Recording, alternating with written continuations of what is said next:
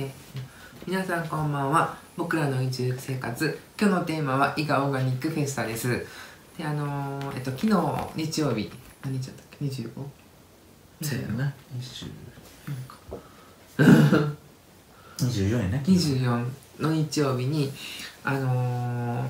伊賀の長谷園っていう伊賀焼のかなんだ？えーと窯元？窯元でそのオーガニックフェスタやってたんですよで午前中にちょっと僕らそれに行きました。でえっ、とどんなんやったかっていうのをちょっとだけお話ししたいと思うんですけどもあの、まあ、オーガニックフェスタっていう名前の通りその、えっとオーガニックな有機栽培のその野菜とかそういったのを使っての、あのー食べ物っていうの、がずらっといろんな店が並んでてでその他のなんかえっとハーブとかなんか健康食品みたいなのもあったりであとなんかあったっけ？食品系は何だったっけ？食品系と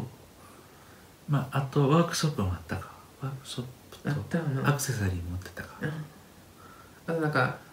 見せ物みたいになったよな、うん。あステージステージもあったな。でで、あのーちょっと僕がそう結構オーガニック的なことが好きっていうかこういう農業やってみたいなってちょっと思ってたりもするんですけども、あの昨日まず一つ、あのー面白かったのがそうビーガンあのえっとビーガンの出し物みたいなのがあってそこで、えっと、肉まんが売ってたんですよ。で、えーベジマン、うん。ベジマンで肉まんって書いてたからなんか肉まんとベジマンっていうかそのビーガン料理ってちょっと矛盾してるなと思ってこれってどういうことですか？って店の人に聞いたらなんか味は肉だけども肉じゃないって言ってあって、うん。なんかちょっと何を元に作られてるのか知らないけどあの肉じゃない原料で、えっと肉を作るみたいな。なんか多分豆とかそういうのかも、うん。豆とかかな、うん。なんかそういうのから作ってると思うんですけども。でちょっとまあ1個の値段はちょっと高めやったけども食べたら美味しかったのな,、うん。なんかほんまの肉の味してたよな、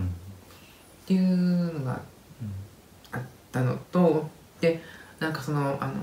あれケーキケーキっていうのがあったっけ？うん。タルト。タルトも買ったんですけどそのタルトも卵とかミルクとか一切不使用で、なんかちゃんとほんまに美味しいの作られてるんで、なんかあのーちょっとその最近のビーガンっていうか、あのー料理ってすごいなと思いました。で昔っていうかまあ23年前3年4年ぐらい前か、4年ぐらい前に京都のビーガン料理店に入った時にでそれまであのあんまり全然ビーガンとか知らなかった、で入って普通に肉料理頼んだら、なんか食べた瞬間なんか違うと思ってびっくりした。ら、あビあこれがビーガンっていうんやと思って、ちょっとびっくりした記憶があるよな、であの時って見た目は肉やったけど味は肉じゃなかったよな、うんうん。でも今回昨日食べたのは見た目も肉やし味も肉やったよな、うん。それが野菜っていうのがすごいなと、うん。あの僕らってその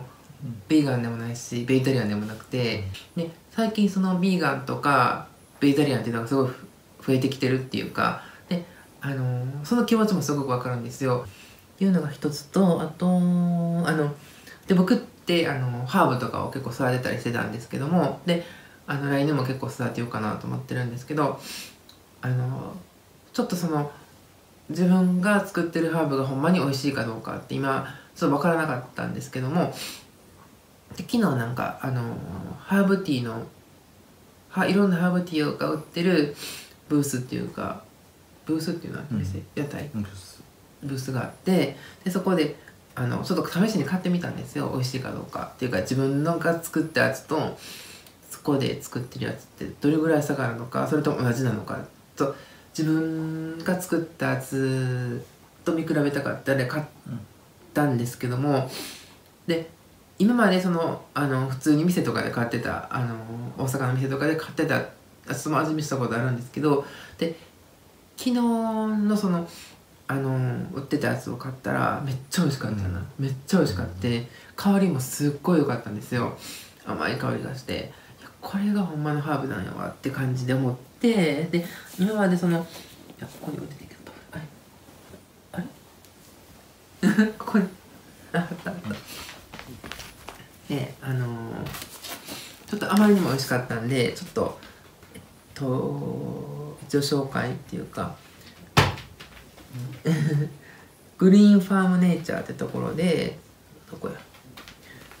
三重県の松坂市でその小さな農園で作ってるっていうあの女性の方なんですけども。で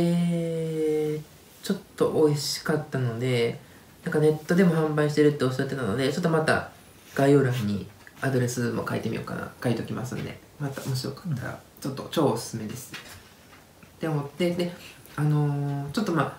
自分もまた来年もサーブを作るんで目標はこの人かなって、あのー思いました。今まであのーハーブ試してみたり他のとこで買ったりもしてみたけどもダントツで美味しいっていうかいい香りがするのでこの人が作ってるようなハーブを来年は目指そうかなと思ってます。今までうちとその買ってたやつと違ってそんだけそんなに見分けがつかなかったよな、うんそうなんですよ。でここだけなんか香りがええし、うんダントツで違うかったようん。な、だからなんか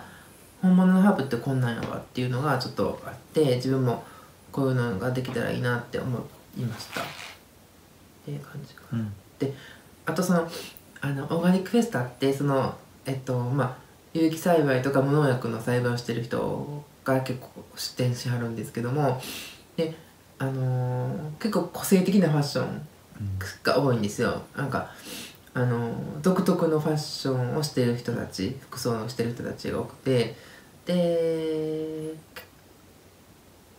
構そういう服とかも着てみたいなとか思ってちょっと憧れたりしたりもしてますけどまあ程遠いかな。で来年僕らはままた畑するんですけどちょっともうちょっとあのこの人たちに近づけたらいいなっていうかそのなんて言ったらいいの？たくさん愛情を込めて作りたいなと思ってます。ね、そんな感じかな。でそうやなであと長谷園でやったんですけど長谷園も超おすすめの観光地です。こんな感じかなじゃあ以上です。今日は。